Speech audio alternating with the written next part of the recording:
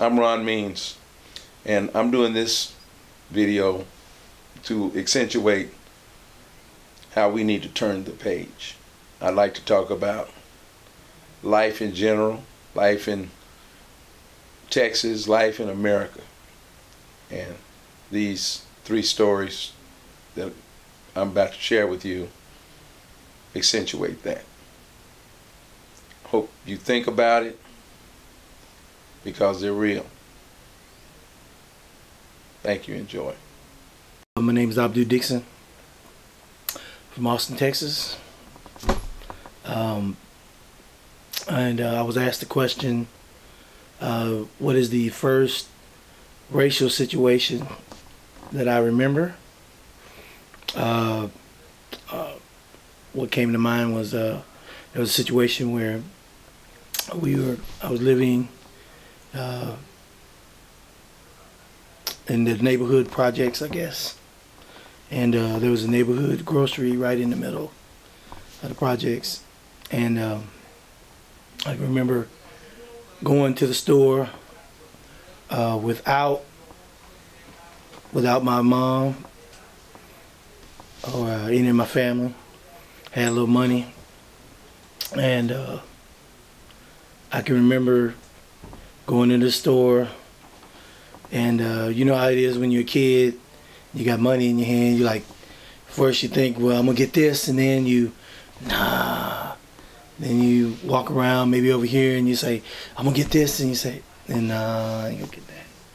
And you're trying to think of something that you could get that would last and that was good.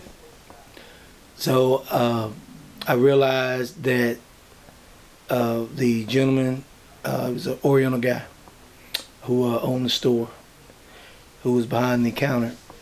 Uh, wasn't really paying attention. Then I really looked up and realized that he was staring and following me the whole everywhere I went around the store. And so I'm like, my God. And uh, finally, you know, caught on. And uh, he finally yelled uh, something like, you know, make your decision. Get whatever you need to get and get out. And I'm saying, you know, I got money. I'm spending money in your store. And, and uh, you know, pardon me. I'm trying to make my decision. I'm a kid. And I could get, you know, now laters, I could get soda and a honey bun. I mean, I, you can mix it up. And uh, I remember feeling like, my God, did you think I'm a thief or something? And, you know, sometimes, you know, those stereotypes are what shape people's thinking. And we're seeing a lot of uh, racial thing in the news, uh, a lot of uh, people coming forward saying uh, that uh, my particular opinion on race is the best one. But for me, uh, I believe everybody is deserving of a chance to prove. You know, if it's, you know, 10 people and all 10 of those people are thieves or bad or not right, I still believe one, the next person deserves an opportunity. That's it. Thank you. Vernon Creighton. I remember a situation, I think it was near 1968, Stonewall National Bank, where my wife was a school teacher in Nacogdoches and we had an account at that bank. And for some reason, uh, I had came through Nacogdoches to visit my wife and uh, I needed to go by the bank to get some money. So I went into Stonewall National Bank and going in the bank I saw black people standing in one line. I never will forget this white girl with the thick, big red lips standing with her hand up under her chin, biting on her fingernails. So after standing in this black line for a couple minutes and I realized that I had somewhere else to be, I went to this white girl and she says, sorry sir, I can't help you. I say, why? She said, because this is the white line, and the black line is where black folk are. So I said, well, if you can't help me, you need to get the president or the manager of this bank because if you can't help me, I want my money out of this bank. And the guy came over and he said, how can I help you? I said, well, I'm talking to this lady. This lady says that she can't help me because I'm black and this line over here is for black folks and this line over here is for white folks. So if that be the case, I need to have all my money out of the bank. And I guess he thought that when he went and looked at the bank book, he was looking at getting me four, five hundred bucks. I had forty thousand dollars in that bank. And when he found that out, he said, "Well, sir, can we work something else out?" I said, "No, sir, because you're taking out my time." And by that time, I had put on my ID badge that said that at that time I was a federal employee working for NASA. The whole situation changed for me but it didn't change for the other people that were standing in line. It was going to continue to go on. So the guy said, okay, I'll, let me go get you a check for your money. I said, no, I didn't put check in this money. I put cash in this money, in this bank. I want $40,000 counted out of me in cash, and I can put it in my attache case, and I can take it and put it into another bank who's going to deal with me. So he thought, the guy, he thought that that was the most ridiculous thing that he'd ever heard. But it, it, it was an insult to me. Because, I mean, at, at, at what point are men seen as a man and not as a black man or a white man? That was my experience of racism and it I don't know does it still exist yes I think it does in a lot of different ways and people just don't talk about it anymore. But that was my experience. My name is Glenn Hudson. I'm here to tell you about um, my I wouldn't say my first but my most notable uh, racial uh, experience experience that I've gone through. I want to say about 2012, um, towards the fall of 2012, I was working for ARS um, as a HVAC technician. And I received a call out into Lago Vista, um, a house. They just wanted a traditional uh, heating and cooling check and I went out there thinking everything would be normal, normal routine, uh, in and out, you know, do the job. And as I um, pulled up, I got a call from dispatch, and I was told that the uh, customers, I guess, was uh, was upset because of um, they had been waiting or their schedule had got mixed up, so they were already pretty hostile or you know pretty upset or irritated. So I took that with caution and you know went inside um, or went towards the door and I was kind of preparing myself, you know, just to be nice to them and hear them out.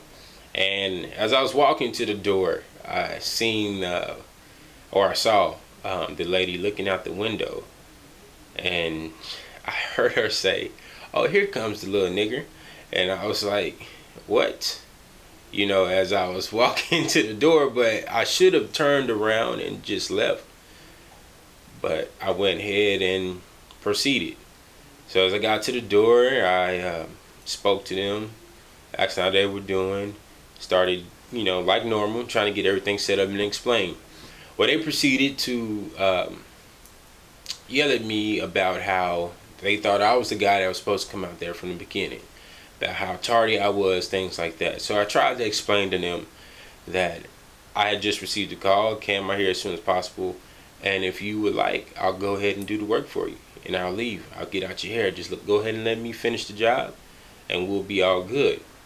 Well, the gentleman, the husband, he continued to argue with me. Now, the wife was over on the kitchen counter. She was cutting up vegetables. She had a knife. Cutting up vegetables. doing a thing. So while he was talking to me, and he started to escalate his voice, I asked the gentleman, I said, Sir, go ahead, show me where the things are, and I'll take care of it, and then we'll address everything later. And he continued, continued to holler. And then I told him, Sir, if you go if you're gonna continue to talk to me like this, because he was saying some negative things, he was starting to get a little rowdy, I said I would leave. And the wife, while cutting her vegetables, I guess she heard me say that and she came over with the knife in her hand and was upset, telling me, No boy, you gonna get up here and you gonna go check our units. And I was like, Whoa, you know, no ma'am, I'm not checking anything right now. You coming at me, you got a knife in your hand, and you telling me what I'm going to do in your house. You know, and I've been trying to do my job the whole time since I've been here. And then the gentleman, when I said no, he grabbed me by the arm and was trying to drag me to where his unit was. You know, the funny thing is, this whole time, I've been trying to check on the unit, and they wouldn't let me. Now all of a sudden, they want me to do it you know, just a waste of time. Uh, but as he proceeded to grab me, now this this guy, I believe he was in his 70s. Uh, it looked like um, his wife was kind of elderly also, and I had some thoughts on grabbing him and throwing him down. You know, just doing anything because when somebody put their hands on you, especially in a situation where you're out here to a town that you've never been, it's Lago Vista. Um, I don't know these people. I'm in their house. I don't know if they part of some crazy organization or what. I don't know what's gonna go on. I don't know. My life right now is being threatened, and you know, so it's a lot of things going through my mind. But I just know one thing: I need to get out of here. So I checked myself away, grabbed my items, and I proceeded leaving out the door. And they were following me, talking crazy. Um, thanks be to God, I was able to get out the house and get in my vehicle and I drove away and immediately called dispatch and told them I do not ever want to be sent out here. I don't even want to come out to this town ever again because these people were rude. They called me the N-word. And they were just just downright just terrible people. And you know, everybody is uh, able to have a bad day, but when you go and you coming at somebody with a knife and you putting your hands on someone, you know, bad things can happen. So um, I'm grateful that I got a, got out of that alive, but um, I wouldn't have called this a racial um, incident if not the woman hadn't called me the N word. You know, you and she said nigger, okay, N I G G E R. You know, so when you kind of hear that, you kind of think of back in the day when they used to say that say those things. So kind of took me kind of you know blew me away for a little bit um, just considering that I heard it. And it was my first time ever um, just actually hearing it from an adult as far as to I was only like 21 at the time, so just hearing it and hearing it the um, just the anger in their voice and and just kind of how they meant it when they said it, because she didn't know that I heard, or maybe she did, but it didn't sound like she knew I heard, and she was speaking to her husband, so you know that just drew me to a conclusion that you know they probably didn't really welcome any brothers in their house uh, that much, but um, yeah, that was a, an experience, and um, glad I made it out alive. But that's all I got.